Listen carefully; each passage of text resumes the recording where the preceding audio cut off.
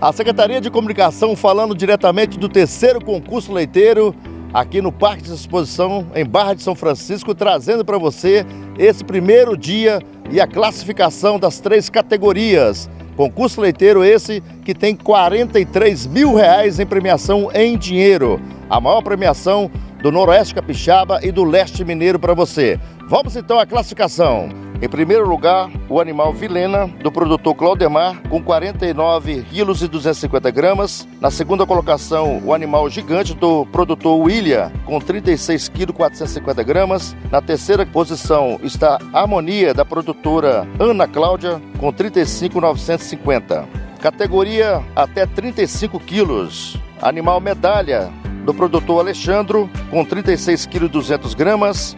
Animal Economia, do produtor Sávio, com 34,950 gramas. E na terceira colocação, Majestade, do produtor Rafael de Paula. Categoria Vaca Livre, primeiro lugar, Animal Estela, produtora Ana Cláudia, com 71 quilos 600 gramas. Na segunda colocação, Animal Bailarina, do produtor Rafael Garcia, com 67 quilos 400 gramas. E na terceira colocação, Madonna, do produtor Jonael Garcia, com 65 quilos 950 gramas. Lembrando que esse foi o primeiro dia do concurso leiteiro aqui em Bar São Francisco. Nessa sexta-feira continua o concurso leiteiro.